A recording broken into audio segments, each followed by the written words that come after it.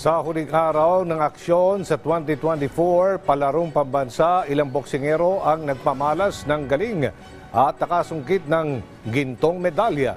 Si Bernadette Tinoy sa sentro ng balita. Sampung taong gulang si Angel Joshua Pana na magsimula siya sa sport na boxing dahil na rin sa suporta ng kanyang mga magulang. 2023 naman ang irepresenta niya ang Region 8 sa palarong pambansa, ngunit hindi pinalad na manalo, kaya naman nagpursige siya sa tulong ng coach na si LG Costello. Ngayong taon, hindi lang nakapasok sa final si Angel, kundi nakuha pa ang kampyonato sa schoolboy spinweight 44 to 46 kg category. Dito, tinalo niya ang pamangkin ni Jerwin Angkahas at si Jarrell Mark Angkahas ng Region 12 via unanimous decision. Daog ko ma. Thank you, thank you Lord.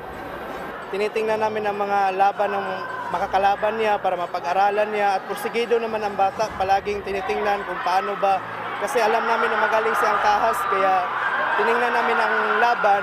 Sabi ni AJ na nakukots hindi ako mananalo pag makikipaglaban ako kay Angkahas sa kanyang laban. Kaya yun ang ang game plan talaga namin ay pasukin pasukin ng pasukin si Angkahas kasi technical boxer si Angkahas Ayon sa tournament director na si Jonathan Oscar Jimenez, 165 boxers ang lumahok sa torneo mula sa 17 rehiyon sa bansa. Patunay lang din anya ito na tinatangkilik ng mga Pilipino ang nasabing sports.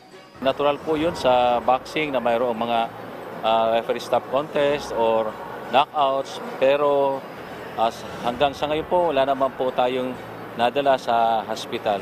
Kasi nga, very safe po ang boxing. Before the bout, mayroon tayong pre-bout examination every day. And after the bout, uh, each boxer will be uh, examined by the medical team. Paglilinaw ng officials ng Palarong Pambansa Committee, priority nila ang kaligtasan ng mga estudyante sa paglalaro ng boxing. Mula rito sa Cebu City Coliseum, Bernadette Tinoy para sa Pambansang TV sa Bagong Pilipinas.